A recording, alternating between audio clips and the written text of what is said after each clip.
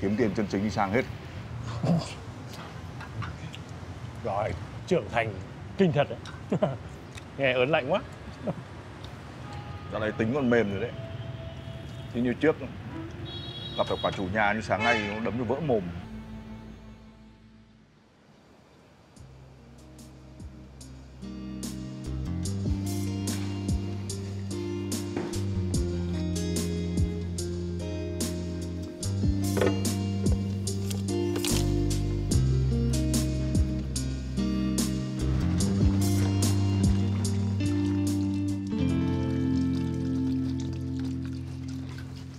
nhận chú cũng chịu khó đấy nhở Đàn ông đi làm mấy cái việc lau dọn này.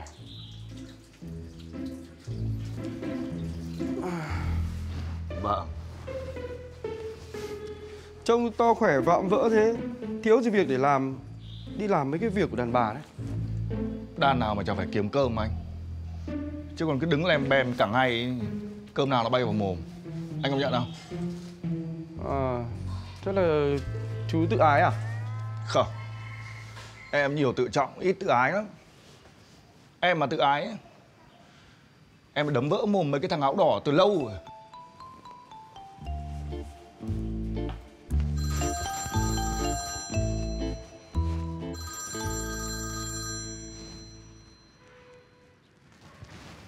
Nói liên tục Anh đang ở đâu đấy? Đi nhậu đi. Nhậu nhẹt thì cái tầm này nó đang bạo việc đấy. Thôi, để em gửi địa chỉ cho. Ra đi nhá.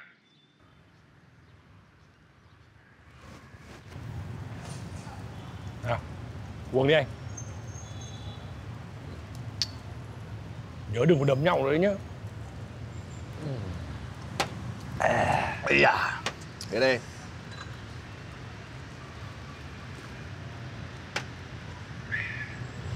Ngon đấy. Ừ. À, mà em bảo này. Chính ra em thấy cái việc mà đi lái xe hộ của em được phết đấy.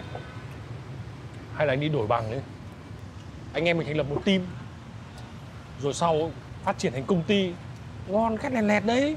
Tùy tiết gì Tao dọn nhà theo giờ để em ổn mà Chiều khách như kiểu của mày tao không làm được đâu Vấn đề là đàn ông đàn an đi giúp việc theo giờ nghe nó không sang. Làm lái xe sang hơn. Kiếm tiền chân chính đi sang hết Rồi, trưởng thành kinh thật đấy. nghe ớn lạnh quá. Dạo này tính còn mềm rồi đấy. Chứ như trước Gặp phải quả chủ nhà như sáng nay nó đấm cho vỡ mồm. Chủ nhà sáng nay ham lắm à? Cảnh cảnh. Khổ thân anh. Vừa mới đi làm Gặp ngay phải chủ nhà cảnh cảnh.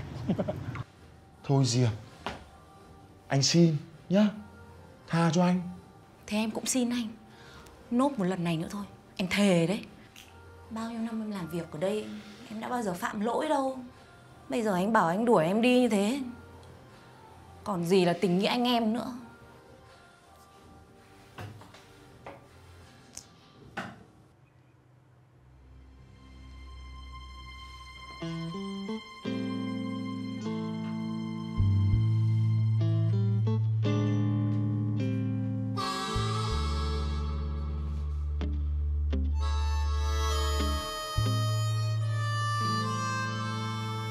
Tình nghĩa anh em thì phải thế nào chứ? Bao năm nay Anh có nhận được gì từ em đâu? Tôi ích kỷ hẹp hòi Thù ra nhớ lâu lắm. Tôi không bỏ qua đâu. Mất công. Nhưng mà tôi vẫn đến.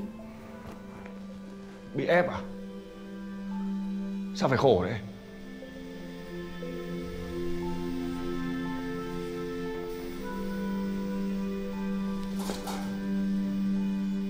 Chả ai ép được tôi cả. Tôi chỉ làm việc một người mẹ nên làm thôi. Thế à? Tôi tưởng mẹ quên mất trách nhiệm của một người mẹ rồi chứ nhỉ?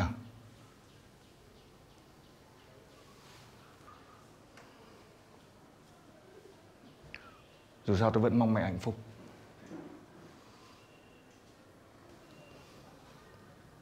Như thế thì ít ra cái sự thiệt thòi của anh em tôi Nó đỡ phí. Hay là mình trả cái chỗ này đi Rồi đi thuê chỗ khác em Anh nói thế mà cũng nghe được à? Anh có biết là mình đầu tư vào đây bao nhiêu tiền không? Bây giờ vốn chưa thu hồi về Anh bỏ giả là giả thế nào? Thế anh định lấy tiền ở đâu để đi đầu tư chỗ khác nữa?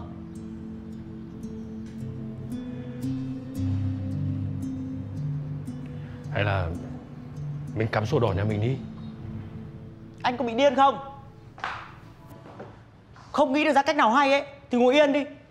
Phát biểu nghe tức. Nói thế cũng nói được.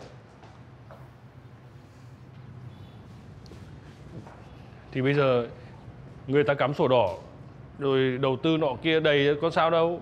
Sao anh không nói với anh trai của anh ấy? Anh ấy làm ra thì anh tự chịu đi. Cậu có vẻ còn sốt ruột hơn cả chồng tôi nhỉ Cần tôi giúp không? Miễn phí. Bà không dùng tình cảm với nó được đâu. Này. Thằng em tôi mới gọi điện báo tin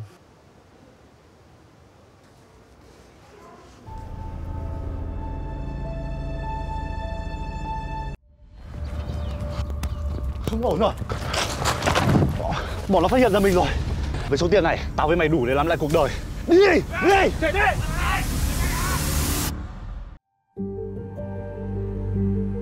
Anh trai của anh Tuệ mới về nước. 10 năm lặn một hơi không thấy sủi tăm. 10 năm rồi gia đình người ta mới đoàn tụ. Anh chỉ chỉ còn mỗi mình anh là người thân thôi. Từ bây giờ anh không được khổ nữa. Em sẽ lo cho anh Chắc mai anh đi tìm việc.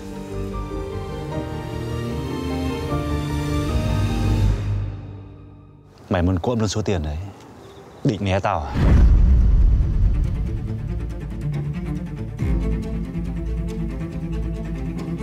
Nhận ra em không anh? Mày muốn gì? Việc làm. Em là người bình thường Về đến nhà bao việc rồi. Chăm chồng rồi chăm cả anh chồng nữa. Em làm như thế Thì những người như anh Trí Còn biết sống ở đâu ở trong cái xã hội này nữa hả em? Để tao giúp mày. Cút. Nghèo thì không được phóng khoáng Cũng không được sĩ. Cái cảm giác mà mình ở giữa gia đình mình Mà lúc nào cũng thấy bơ vơ Đúng là khó chịu thật.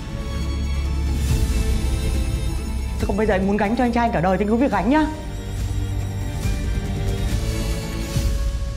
Nhưng chúng ta là người nhà mà. Người trong một gia đình mà Thông cảm cho anh em anh.